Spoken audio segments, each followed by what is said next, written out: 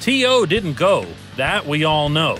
But what's coming out of this now? I'm Dejan Kovacevic. This is DK's Daily Shot, sponsored by Schneider Downs. The Pro Football Hall of Fame is reported to be considering, and I mean seriously considering, putting in a requirement that anyone who makes the list of 25 finalists has to put into writing that they will attend, that they will commit to going to their induction in Canton in person, or what? Or they won't be eligible for selection?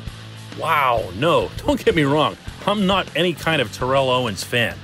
In fact, even as a wide receiver, he had so many drops that for him to be putting himself into the category of the likes of Jerry Rice and Randy Moss and players like that, no. He was a great receiver. He wasn't in that class. He wasn't a slam dunk. But wow, to have this be the result of it, and for what end?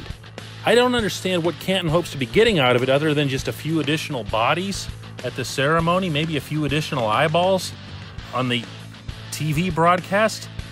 That's not worth corrupting your own process, which is what this would do. Look, pro football already has the worst form of electing players and others to the hall in the sense that it's behind closed doors. They even ask, you're not going to believe this if you don't know this already, beat writers, local beat writers, to lobby for players they covered, which goes against all kinds of journalistic principles on top of other issues.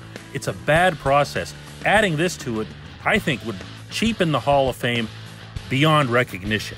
What if someone has just a personality where they don't want to speak in front of people? What if they have some sort of religious issue? What if they have uh, a commitment? I know, I know, it would seem far fetched, but none of those things should come into play as to whether or not someone should be honored. And that's the operative term here is the honor. It's an intangible and recognized as one of the best who ever played the game. I'm Dejan Kovacevic. This has been DK's Daily Shot, sponsored by Schneider Downs.